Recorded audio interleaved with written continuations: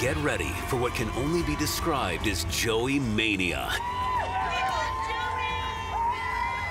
you. Seriously, thank you, everyone. I'm just a normal guy that was looking to find my person and Is that for me? Thank you. I appreciate Oh my God, this is awesome. Yeah, I'll get. Joey is about to embark on a worldwide quest to find love.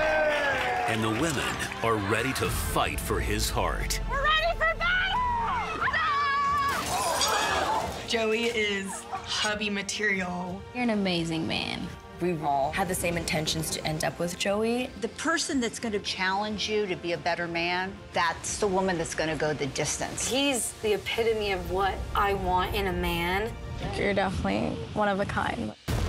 I am ready to find my wife.